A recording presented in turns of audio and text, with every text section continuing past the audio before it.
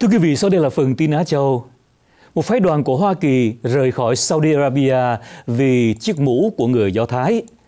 Ủy ban Tự do Tôn giáo Quốc tế của Hoa Kỳ vừa mới ra tuyên bố rút ngắn chuyến viếng thăm Saudi Arabia và rời khỏi quốc gia này sau khi Chủ tịch Ủy ban là giáo sĩ Abraham Cooper từ chối lời yêu cầu phải bỏ chiếc mũ nhỏ kippa trong lúc đến thăm thị trấn Diyah lịch sử, vốn là di sản của thế giới.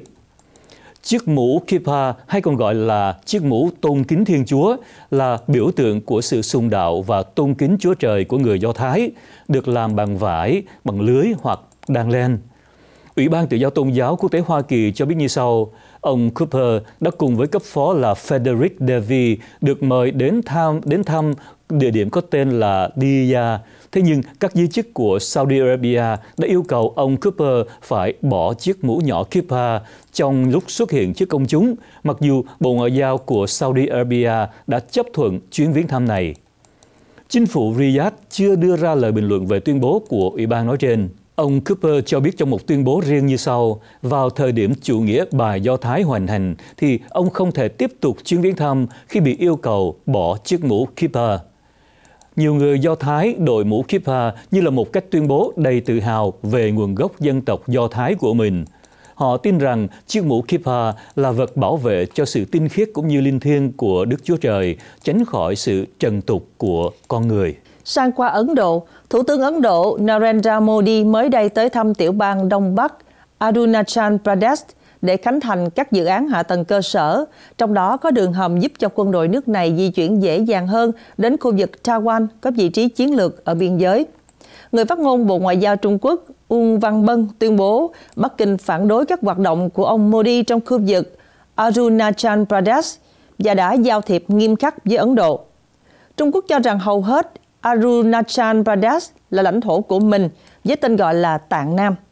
Ấn Độ hôm nay bác bỏ sự phản đối của Trung Quốc, nói rằng động thái của Bắc Kinh không thể thay đổi thực tế. Tiểu bang Arunachal Pradesh luôn là một phần không thể tách rời và không thể nhượng lại của Ấn Độ. Trung Quốc tuyên bố kiểm soát Tây Tạng vào năm 1951 và tuyên bố chủ quyền với nhiều khu vực giáp Ấn Độ, trong đó có Arunachal Pradesh. Trong khi đó, Ấn Độ bác bỏ mọi tuyên bố chủ quyền của Trung Quốc đối với khu vực phía nam cao nguyên Tây Tạng.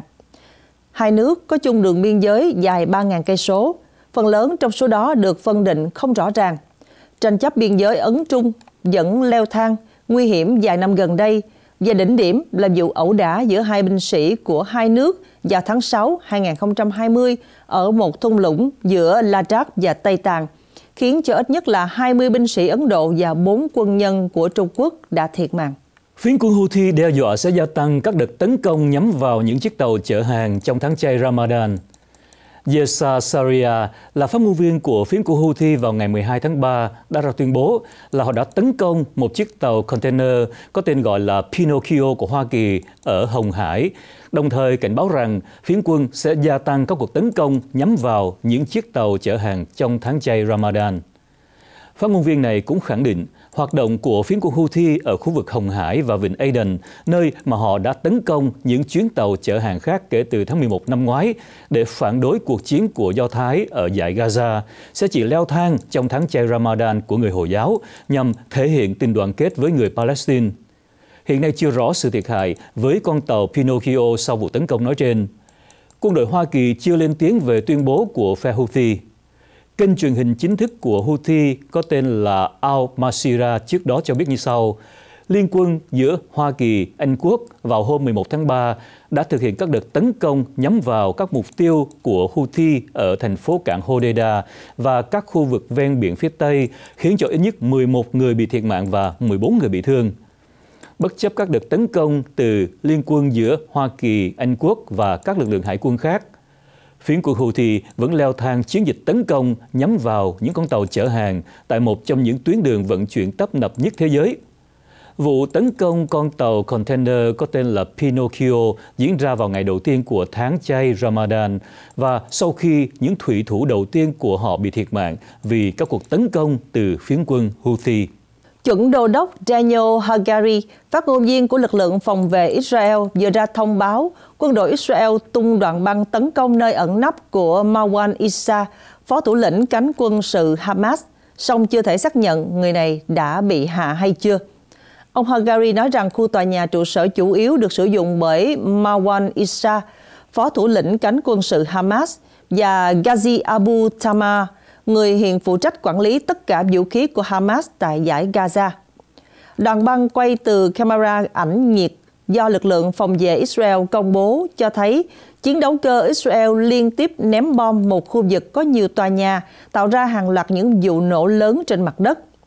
Isa được coi là giới chức số 3 trong hàng ngũ lãnh đạo của Hamas. Ông hiện là cấp phó của Mohammed Deif, chỉ huy lữ đoàn Isa Adin al-Qassam, cánh quân sự của nhóm vũ trang. Được biết, Isa và Dave là những người cùng với thủ lĩnh Hamas Yahya Sinwar dạch ra kế hoạch thực hiện các cuộc tập kích hiệp đồng vào lãnh thổ Israel ngày 7 tháng 10 của năm 2023 làm bùng phát cuộc xung đột kéo dài nhiều tháng qua ở giải Gaza. Một nguồn tin cho biết Isa Dave, Sinwa và em trai là Mohammed đã tự ý quyết định tấn công Israel mà không tham vấn các lãnh đạo khác của Hamas, điều khiến họ hứng chịu nhiều chỉ trích nội bộ. Tuy nhiên, nếu Marwan Isa thật sự bị hạ, có thể khiến cho quá trình đàm phán nhằm đạt thỏa thuận ngừng bắn giữa Hamas và Israel thêm phần khó khăn. Tin đến từ Nhật Bản cho hay, thành phố Kyoto muốn ngăn chặn các du khách không được làm phiền gây ra các gây xa và cuộc sống riêng tư của cư dân ở quận hạt Gizon thuộc thành phố Kyoto của Nhật Bản đang bị các du khách thô lỗ làm phiền – trong vài tuần tới đây, thành phố này sẽ treo bản yêu cầu du khách hạn chế đi vào các con hẻm có cư dân sinh sống, trong khi các con đường lớn thì vẫn được mở cửa. Ông Isokazu Ota là thành viên của hội đồng cư dân ở đây so sánh các du khách tụ tập xung quanh các geisha khi họ đi ra từ các con hẻm, giống như các paparazzi là những tay săn hình đeo bám làm phiền người khác. Hội đồng cư dân của Cộng hòa Gizon, nơi quay bộ phim mang tên Makanai nấu ăn cho Gaza, vào tháng 12 năm ngoái đã thúc giục chính quyền địa phương phải giải quyết vấn đề này, đồng thời tuyên bố là các khu phố không phải là công viên giải trí. Họ đã treo những tấm bảng cấm chụp hình ở khu đất riêng từ năm 2019 với mức phạt lên tới 68 Mỹ Kim đối với những ai vi phạm. Một người trong hội đồng cho hay đã xảy ra trường hợp các geisha học việc bị xé rách áo kimono hoặc là bị nhét đầu lọc thuốc lá vào cổ áo. Các du khách nước ngoài đa số đều ủng hộ cho quy định không làm phiền các gây nhưng cho rằng thành phố này không nên hạn chế các du khách đi lại vì đây là khu vực di sản độc đáo mà ai cũng muốn nhìn ngắm cũng như chụp hình kiến trúc của nước Nhật. Trong khi đó, các cư dân của Kyoto thì cho rằng quy định mới sẽ rất hữu ích ngành du lịch của Nhật Bản đang bùng nổ kể từ khi các lệnh hạn chế về COVID-19 được dỡ bỏ. Nhiều địa điểm tham quan nổi tiếng tại Nhật Bản đang áp dụng các biện pháp giới hạn các du khách. Ấn Độ thi hành luật cấp quốc tịch gây tranh cãi. Đề cập đến bản tuyên ngôn của đảng cầm quyền BIG sau khi chiến thắng trong cuộc tổng tuyển cử 2019, Narendra Modi, phát ngôn viên văn phòng Thủ tướng Ấn Độ, cho biết Chính quyền của ông Modi tuyên bố thực hiện đạo luật quốc tịch sửa đổi. Nó sẽ mở đường cho những người bị đàn áp tìm kiếm quốc tịch ở Ấn Độ.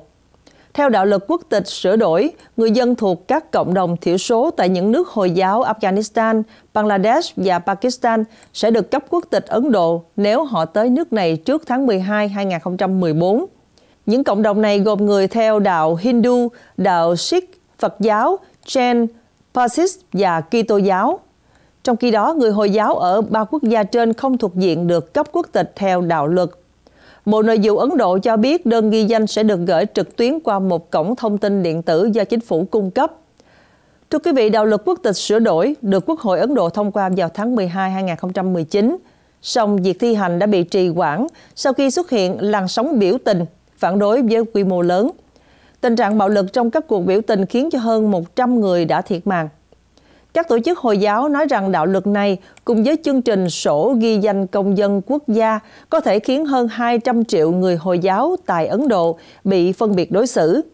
Họ cho rằng chính phủ nước này có thể tước quốc tịch của những người Hồi giáo không có giấy tờ ở các tiểu bang biên giới.